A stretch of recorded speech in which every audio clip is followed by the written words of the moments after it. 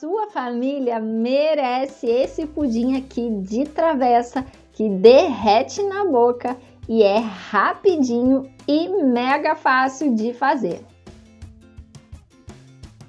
Na panela eu comecei colocando duas xícaras de açúcar. Vamos deixar esse açúcar aqui derreter no fogo bem baixinho. Se você colocar ele para derreter no fogo alto, ele já vai derreter e caramelizar e não vai ficar assim, ó, essa caldinha clarinha e lindona.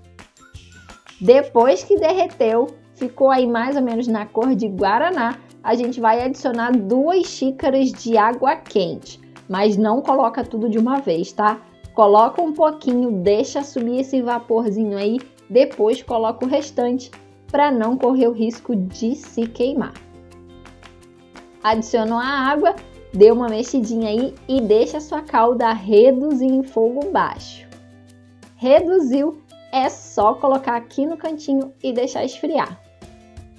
Enquanto isso, no liquidificador a gente vai bater 400 ml de água, 400 gramas de creme de leite ou duas caixinhas, tá? e também uma caixinha de leite condensado de 395 gramas. Vamos bater isso daqui muito bem por mais ou menos 3 minutinhos para ficar bem cremoso. Agora a gente vai adicionar aqui por último dois pacotinhos de gelatina incolor.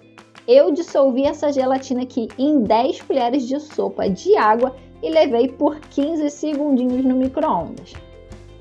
Bate de novo só para misturar e a gente já pode colocar todo esse creminho aqui em uma travessa e levar na geladeira até firmar. Duas horinhas depois aqui na minha geladeira e já tá super firme. Olha como que essa calda depois de fria fica super linda fica na cor perfeita, sem ficar dura demais e fica deliciosa. Fala sério, essa sobremesa aqui é ou não é sucesso garantido aí na sua mesa de Natal ou no seu final de semana?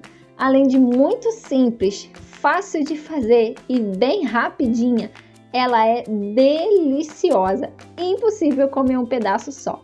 Então faz o seguinte, faz aí na sua casa e se não ficar maravilhoso como eu tô prometendo aqui, você pode voltar aqui e reclamar comigo, hein? Espero que vocês tenham gostado, família, e não se esquece, a gente sonha, mas é Deus quem realiza, tá? Um beijo, até amanhã com uma receitinha nova para vocês. Tchau.